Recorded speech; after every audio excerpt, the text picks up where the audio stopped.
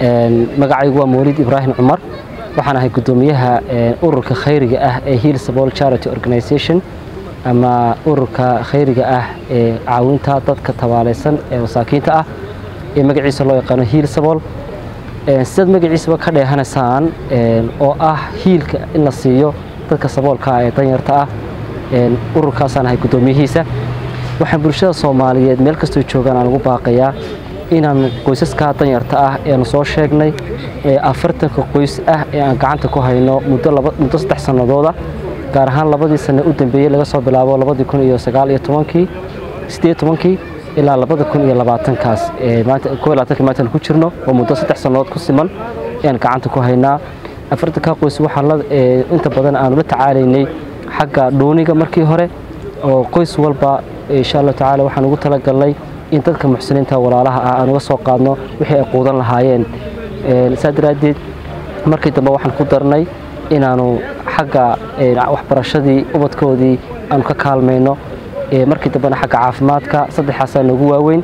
Walaalayaal waxaan ka codsanaynaa ugu dambayn inaad bishii rabadaan maadaama aynugu soo dhowdahay oo foodda inoo hayso oo wax yar ay ka harsan tahay inaad dadka masaakiintaha ee aanu hayno gacanta aanu ku hayno inaad naga kaalmaysaan xagga afurkooda oo qoys waliba wuxuu doonayaa ama u baahan yahay maanta xilligaa rabadaanta lagu jiro wixii uu kaga bixi lahaa bishaa rabadaan afur ahaan iyo raashi ahaanba.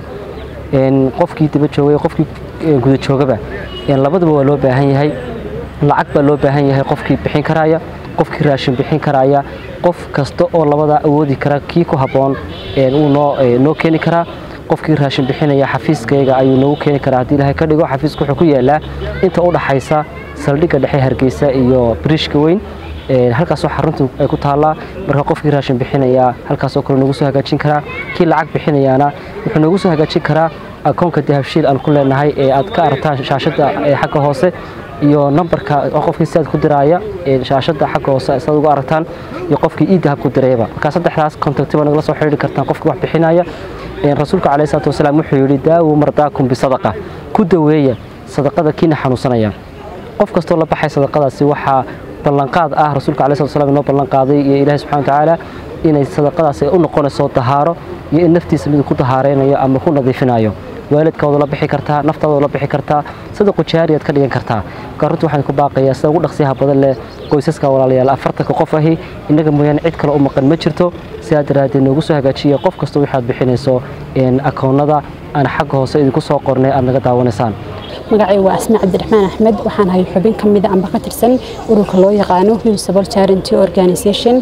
Ururkan waxaa la aasaasay labada kun iyo sideed iyo tobankii bishii tobnaad ururkan waxaa aasaasay oo iska kaashaday dhalinyaro amba aqoon-yahano reer somalilan kana soo jeeda dhammaan gobollada somalilan kala duwan. Ujeedada ururkan loo aasaasay ururkan waxaa loo aasaasay sida magaciisaba ka muuqata hillsbol charity organization in lagu caawiyo oo lagu garab istaago dadka masaakiinta ee danyarta ee nala nool lagu caawiyo. Runtii waxaa jira dad badan oo masaakiina oo inaku aynaan ka warqabin oo nala nool oo magaalada nagula nool amba xaafadaha nala degan runtii dadkaas aanan awoodin noloshii ay ku noolaan lahaayeen qorata daruurigoogii una baahan in la caawiyo in la garab istaago in la kaalmeeyo. Sidoo kale waxaa jira dad badan oo iyagu aanan hadli karin oo u baahan in loo hadlo ujeedada ururkan uu asaasan yahay amba uu shaqeeyo waa sidii loo caawin lahaa dadka masaakiinta amba danyarta ah. Xagga hadday tahay endhuuniga qudrata daruuriga iyo xagga caafimaad hadday tahayba inta xanuunsanaysa ee lala tacaalayo caafimaadkooda iyo inta dhuunigoo lala tacaalayo labadaba. Xafiiska guud ee ururka wuxuu ku yaalaa amba organisationku uu leeyahay wuxuu ku yaalaa fooqayna afdiinle ka soo horjeeda kaalinta inagalad runtii imika urkan wuxuu aasaasnaa muddo ilaa maanta joogno mustaqbalkaygu amba hamigayga aanu ka leenahay organisationkan maaha inaanu intaan ku koobnaano. Runtii imika waxaanu gacanta ku haynaa amba aanana ku caawino aanu adeegnaa qoysas ka kooban afartan qoys. Waxaanu jecellahay oo aanu diyaar u nahay oo aan markasta dadaal iyo juhdi badan aanu ku bixina inaanu intaa ka sii ballaarino sidoo kale inaana ku koobnaanin hargeyso quryaata gobollada somalilan dhammaan aanu adeegin aanu ka fulino magacaygu cabdicasiis axmed ibraahim waxaan ahay agaasimaha ururka hillsbol charity organization. Maanta waxaan jeclahay inaan ka waramo warbixin guud ka siiyo. Waxqabadkii inoo qabsoomay muddadii saddex sano ahayd aynu wadnay ururka hillsbol sida la ii soo sheegay ururka wuxuu asaasan yahay muddo saddex sano ah. Waxaanan qabanaa dhowr qodob dhowr sektar baanu ka shaqeynaa ururka ka shaqeeyaa. Xaggii caafimaadka xaggii waxbarashada iyo xaggii in la quudiyo dadka masaakiinta ah. Saddexdaa qodob ayaanu awoodda saarnay iminka. Run ahaantii waxaanu gacanta ku haynaa afartan qoys oo aad iyo aad u tabaalaysan afartankaa qoys waxaanu isku daynaa inaanu muxuu hayay sanadkiiba saddex goor oo saddexdii biloodba afartii biloodba mar si raashin lagu qaybin lahaa. Run ahaantii waxaa raashinka aynu qaybinayno kharashaadkiisa waxay ka timaadaa asxaabta iyo jeebka muxuu hayay xubnaha ururka ka mid ah iyo asxaabtooda bay ka timaadaa meel kale oo fan ka imaadaa ma jiro? Waxaanu ka shaqeynaa kore xaggii caafimaadka. Oo caafimaadka tiraba iminka hal qof ayaanu caafimaadkiisa gacanta ku haynaa hooyo kaaba iyo labadoodii inamood oo aad u xaruursanaya aadna u tabaalaysan run ahaantii muxuu ahaayey hooyo kaaba inankeeda maxamed iyo inankeeda ladhaho xuseen. Labada inamood waa laba nimood oo aad u xanuunsanaya. Sanadkii hore waxaanu beryortaga siinay maxamed oo ah nin taagnaa marka hore shaqaysan karayey laakiin hadda noqday nin aan kici karin saana u soo qallocsamay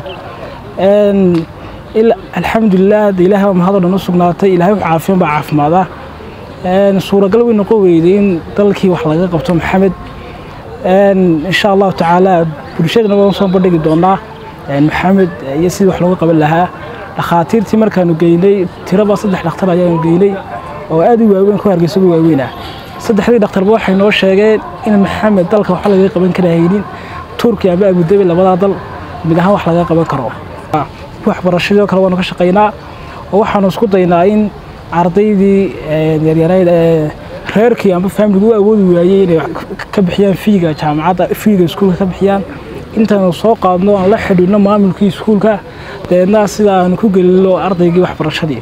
Aan isku xidhno waalidkii iyo iyo iskuulkii aan isku xidhno run ahaantii ururka hillsabol charity organisation waxaanu jecel lahay inaan waxqabadkayga sii kordhino oonu intaa iyo in ka badan qabanno hadda saddexdaas sektar ayaan idiin sheegay ayaa ururka ku shaqeeya. Waxaanu ka codsanaynaa bulshada soomaalida muslimka meel walbay joogaanba. Muxuu ahaaye shaqadan shaqo maaha ku kooban ururka hillsabol waa shaqo qof kastaoo damiirleh qof kastaoo aqoon leh qof kastaoo waxgarad leh qof kastaoo damiir leh muxuu ahaaye waajib ku tahay in kolba wuxuu ka qaban karo haba yaraatee inuu ka qabto